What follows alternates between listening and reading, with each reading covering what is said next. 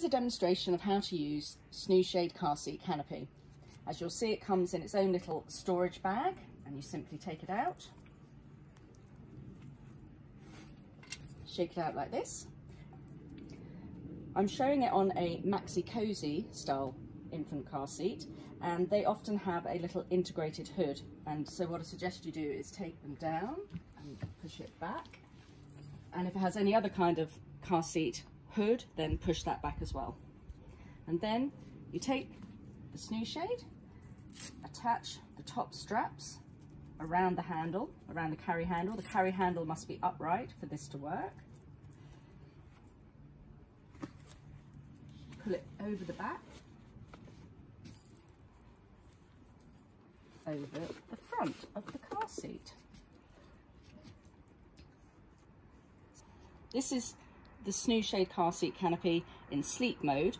As you'll see here, we've got a little do not disturb icon, which is to stop you from disturbing baby while they're having a nap. When this front panel is up, the whole shade blocks 99% of UV.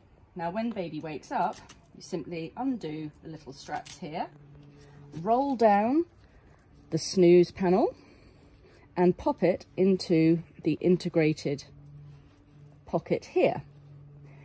Now this then reveals the shade panel. The shade panel blocks 80% of UV. Now you can't see clearly in, but baby can see clearly out. If you can see in clearly, then so can the sun. And as I said, this offers shade from 80% of UV. So we've got the horizontal sneak-a-peek zip here. And what that allows you to do is check in on baby, make sure they're all right, and close it back up again. Here we've got the zip, so you can undo the whole of the shade panel. And again, simply roll it down and pop it into the integrated pocket when you're not using it to keep it safely out of the way.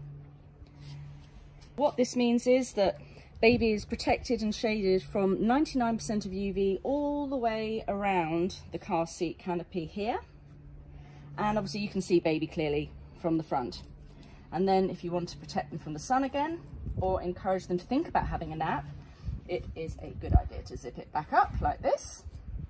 And then when it is sleep time, simply pull up the sleep panel and you'll see here, there are two little pieces of Velcro here that attach to the Velcro here. Just pop it up there and back to sleep. And that is how to use the SnoozeShade car seat canopy.